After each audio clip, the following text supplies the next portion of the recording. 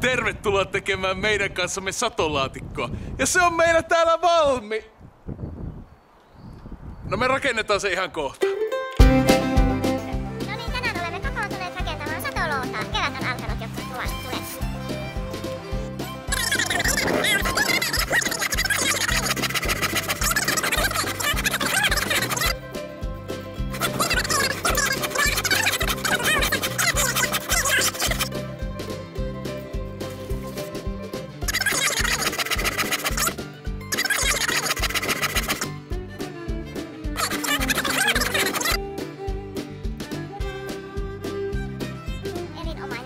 Satoloutalle aurinkoinen.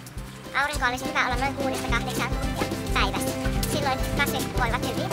Ö, olemme suunnitelleet tähän hienon satoluotan sillä tavalla, että se tulee juuri tähän seinän viereen. Tässä on erittäin lämmin paikka ja oikein sopiva tänne.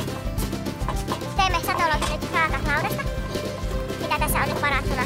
Ja varsin hyvin käy sitten raakalauta tämmöisen viljelylaatikon rakentamiseen.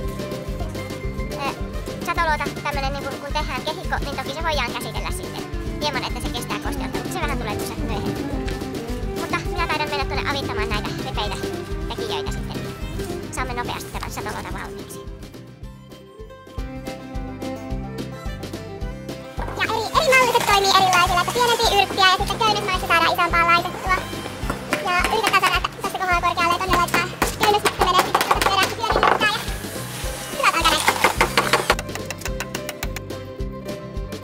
Päin, niin se suojaa näitä alimpia sitten lautoja sillä tavalla, että ne ei pääse sitten kostumaan niin paljon. Ja just tää kautta se on erittäin hyviä mietitty piirsiä päälle. Lauta voi olla pikkasen ohkaisempikin, ei missään nimessä ei tarvitse välttämättä ihan näinkään paksu. Tuosta vedet. Tuosta vedet niin sinne sisään. Tulee tosi hieno lauta. Eli laitetaan pohjalle tänne juurimatto. Välttämättä juurimattoa ei tarvita, jos ei ole niin puiden juurista äh, ongelmaa. Mutta koska tämmöinen yhtenäinen kangas on helpompi, jos sitten jossain vaiheessa siirrytään. Nurmikon päälle satoloutaa, niin silloin myös, jos nurmikon päälle laitetaan satolouta, niin silloin sanomalehdistäkin voi tehdä tämän pohjan. Mutta sillä tavalla, että tätä on yhtenäisesti ja pikkusen nousee tuossa reunoja vasten. On hyvä muistaa, että jos tällainen tulee parvekkeelle, ehkä vähän kevyempi rakenteinen, niin pohja täytyy olla vesitiivis, että sieltä ei valu sitten alimpiin kerroksiin mitään. Ja silloin erityisesti lekasorraa kannattaa käyttää salaajakerrokseen. Nyt tässä on tämän helppouden takia laitetaan tätä lekasorraa sitten tänne salaajakerrokseen. No joku tämmönen ö, noin 15 senttimetriä kerros.